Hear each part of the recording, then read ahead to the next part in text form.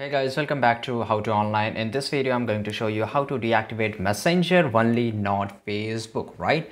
So basically, just let me tell you, there is a no way. There is a no mm. way where you can just deactivate your Messenger account and not your Facebook account because these are the same app. These are the same app which are interlinked to each other. Whatever the messages you get over the Facebook, it's automatically shown over the Messenger. That the Facebook, that Meta company has divided into two parts, but actually it's just only one piece, right? So if you if you don't want to use the messenger there is only one way. You don't download it the messenger right? And after if you want to do the uh, you still want to chat with your friends and with the families you have to download the messenger to use it right? To do the chatting. Otherwise you cannot do over the facebook mobile application. There is a no way. You can just do only in the web version and it's still the similar.